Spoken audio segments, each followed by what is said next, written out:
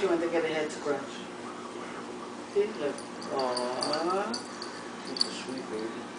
She comes every morning when I come in and she sits there with me, she and then she likes to turn and put her butt in my face. The cat's a snitch. It is.